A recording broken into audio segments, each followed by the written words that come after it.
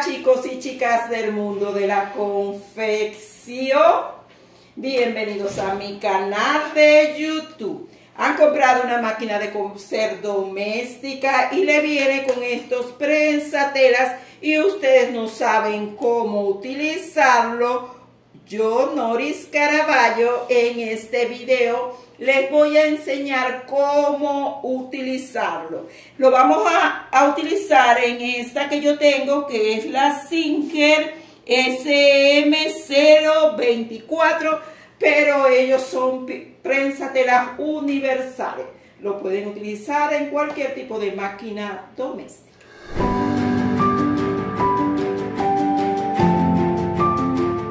Les presento el prensatela básico que traen las máquinas de coser. Este se utiliza para costura recta y para zigzag. Podemos utilizar, por ejemplo, en mi máquina todas estas puntadas. ¿Qué hacemos? Vamos a montar en prensatela. Tenemos que colocarlo aquí y vamos a bajar esta palanquita que tenemos aquí, con esta bajamos el prensatela y con esa también subimos. Ok, vamos a fijarlo, ya estamos listos. Pasamos nuestros hilos para la parte de atrás, siempre pasen los hilos para la parte de atrás. Y miren lo que hacemos con este prensatela. Vamos a unir, están van a unir costuras y van a hacer pespuntes. Tenemos la máquina encendida. ¿Y qué estamos haciendo aquí? Estamos uniendo costuras.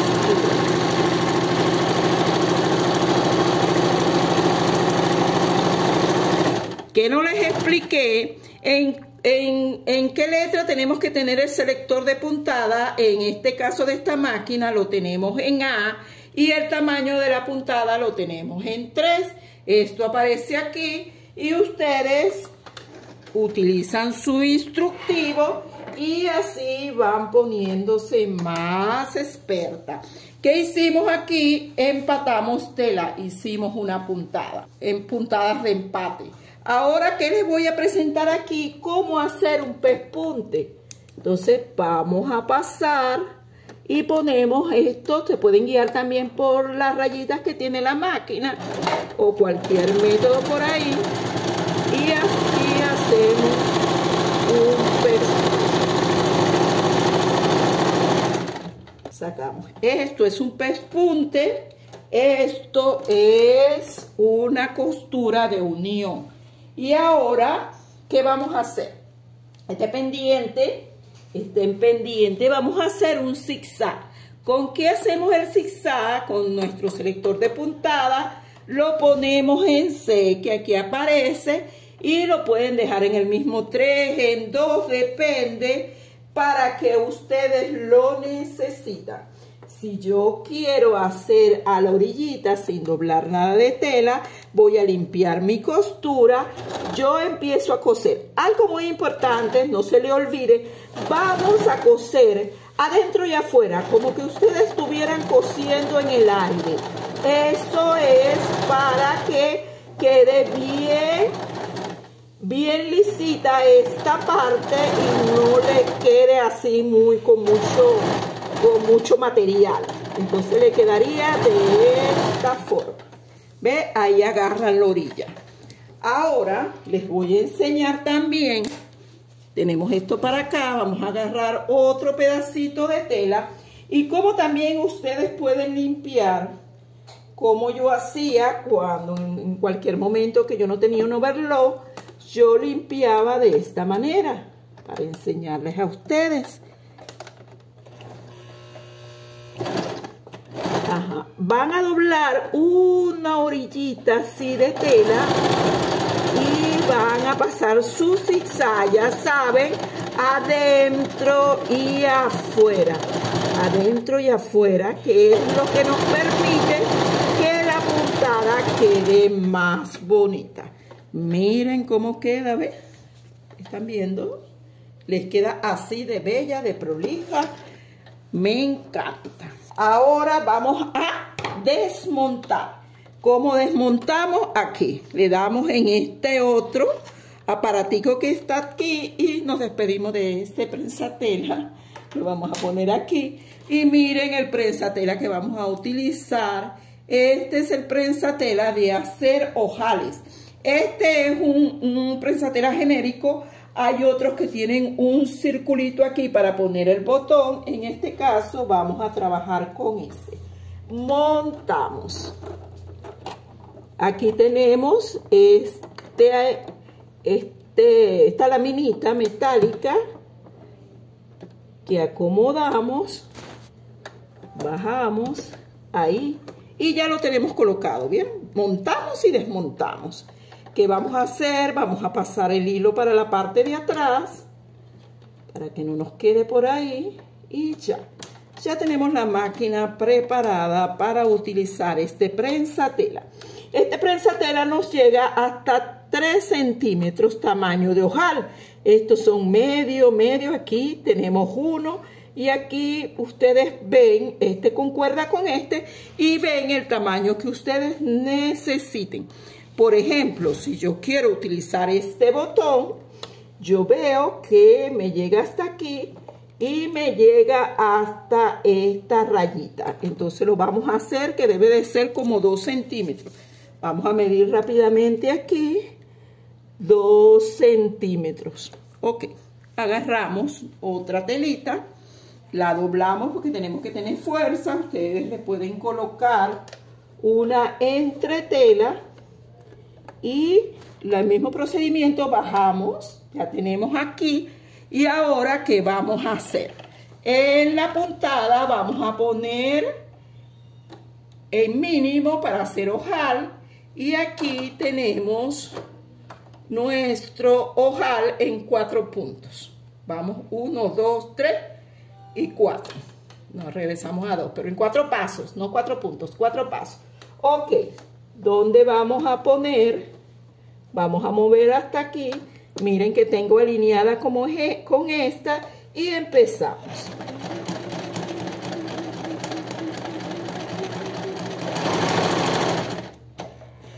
llegamos, hacemos el otro punto. Estén pendientes de tener su aguja arriba. Siempre lleven su aguja hacia arriba.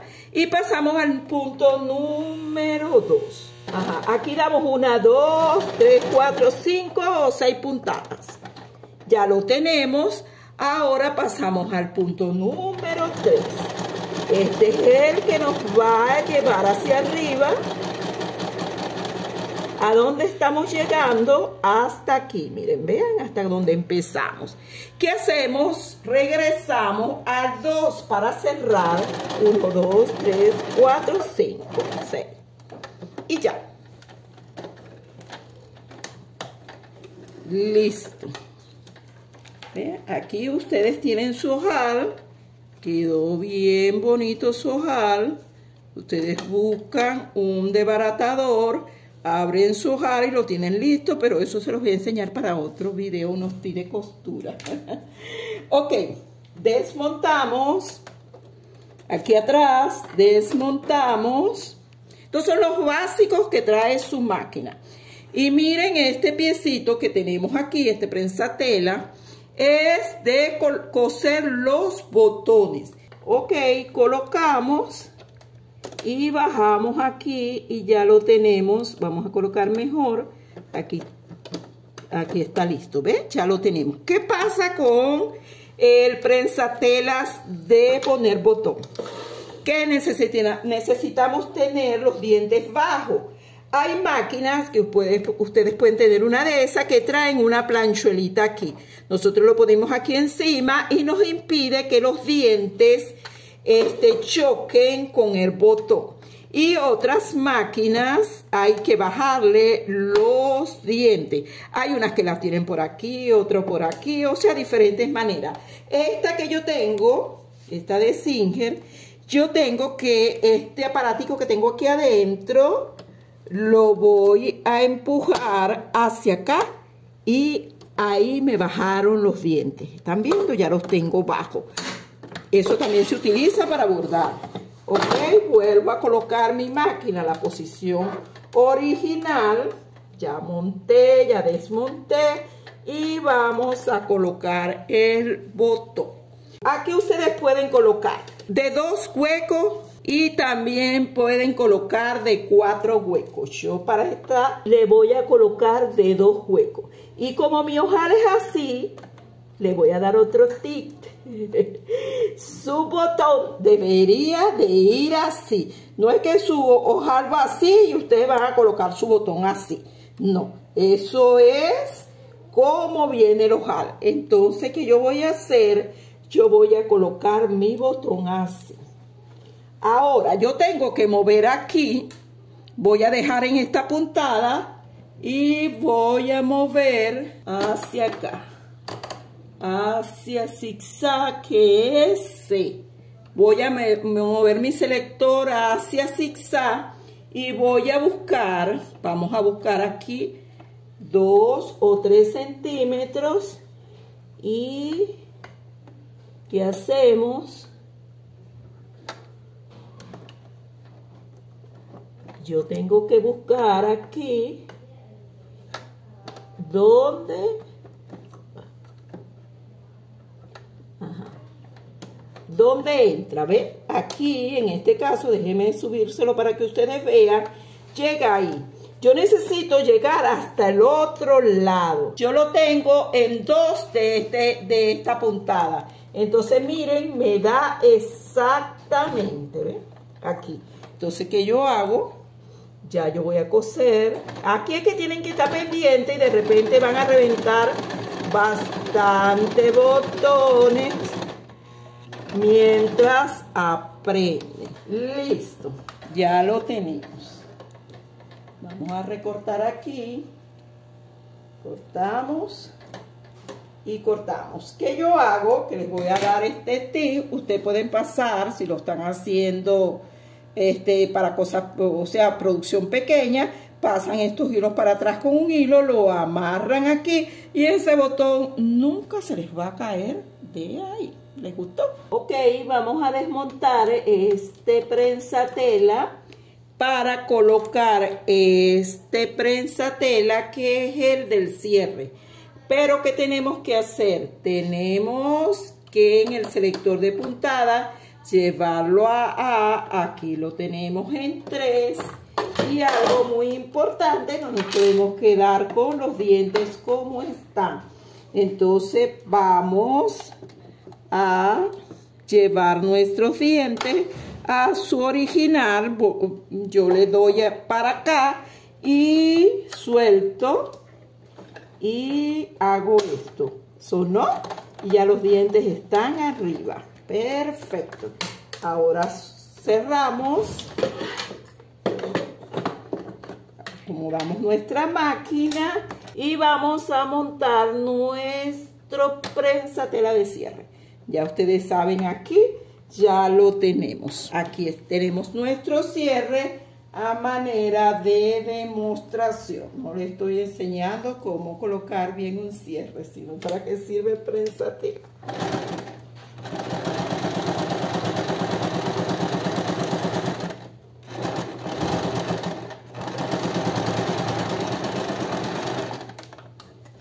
Ya colocamos este lado Ahora vamos a colocar el otro lado. Vamos a abrir aquí. Vamos a agarrar este otro pedacito de tela. Y tenemos que mover el prensa tela hacia este lado. Ya va. Vamos a colocar bien. Ok, ya lo tenemos colocado. Ahora vamos con el otro lado del cierre. Este lado que tenemos aquí.